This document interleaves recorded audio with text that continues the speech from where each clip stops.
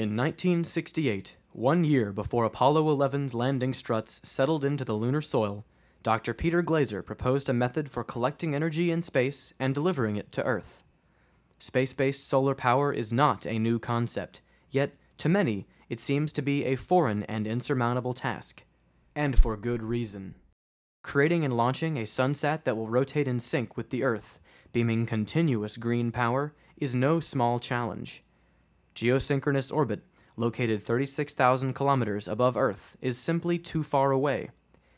It would require an immense array, coupled with ungainly transmission technology, to beam energy to Earth from this orbit.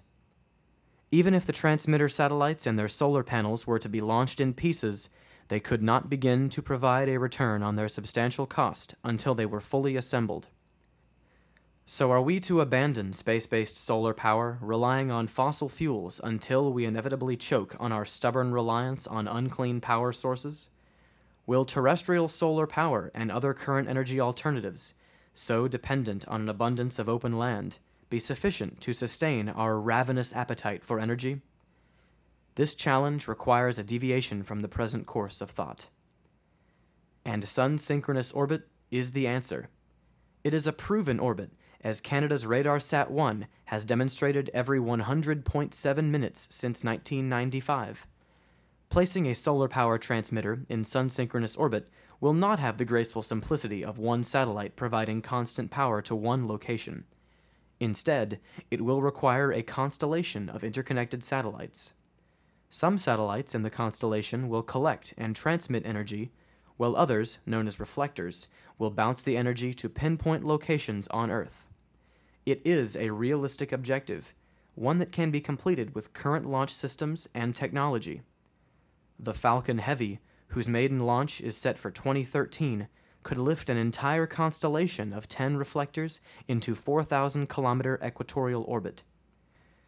That same launch efficiency will carry the transmitter satellites into sun synchronous orbit, and those transmitters could start providing a return on investment days after launch and placement. In this innovative design, each reflector, traveling on an equatorial orbit, will have a 9 minute window during which power can be sent anywhere on the globe. And when one reflector leaves the range of a north south traveling transmitter satellite, another enters the power sat's range and takes its place, providing continuous power. The key advantage of a sun synchronous orbit, as compared to geosynchronous, is the incredible reduction in size the closer orbit enables. SSO reduces the energy delivery distance from 36,000 kilometers to a mere 8,000 at maximum. Satellites can be smaller, much smaller, and with an average launch cost of 10,000 to 25,000 US dollars per kilogram, a 90% reduction in weight is the difference between dream and reality.